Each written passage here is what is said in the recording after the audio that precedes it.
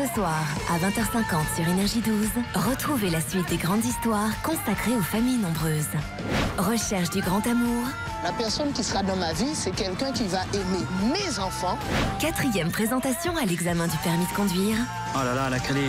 ou encore vacances en amoureux à Ibiza. Je vais profiter pour parler un peu avec lui, pour faire les points de, de 19 ans de mariage.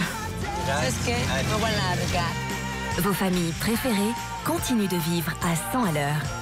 Les grandes histoires familles nombreuses, un quotidien pas comme les autres. Présenté par Marine Bonnard, quatrième épisode, ce soir à 20h50 sur Énergie 12.